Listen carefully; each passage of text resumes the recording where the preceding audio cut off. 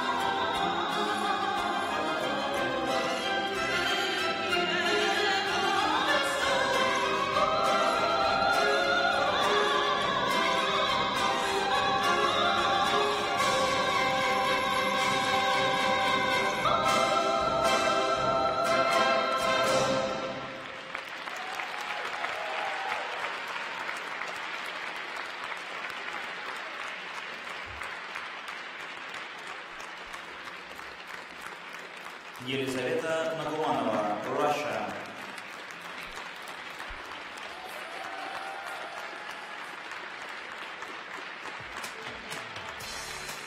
Well, this young lady is remarkable on so many levels. Her spins are absolutely spectacular. The strength, flexibility, and the speed, and the positioning. The jumps are excellent as well. She did make a small mistake, but they're her performance level is of the highest level. Her skating skills, boy, I just don't know how they keep coming up with so many good young ladies in Russia, all battling it out and all capable of being the world champion. Let's take a look at this first element. A little bit on a lean here, but she saved it, got the free leg unraveled, popped her up, pushed herself up into the triple toe loop. Probably an under rotated element on that. Look at this layback. I had to show this because even though this is in slow motion, you'll notice the increase in speed right in here. Spectacular position.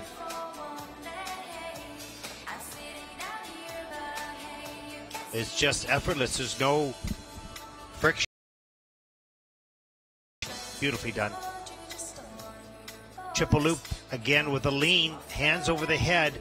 That probably is has an under rotation as well. These things will cost her some points.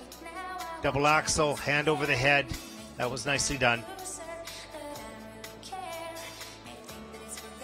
but the refined detail of her positions and her performance is of the highest level that most skaters don't maybe ever reach. Beautifully done for young Polina, uh, for young Elizaveta.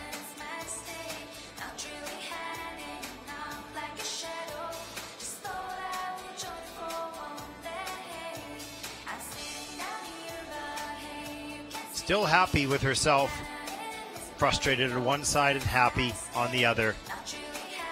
Delightful personality on the ice. Top score is 69.02 by Polina Tsurskaya.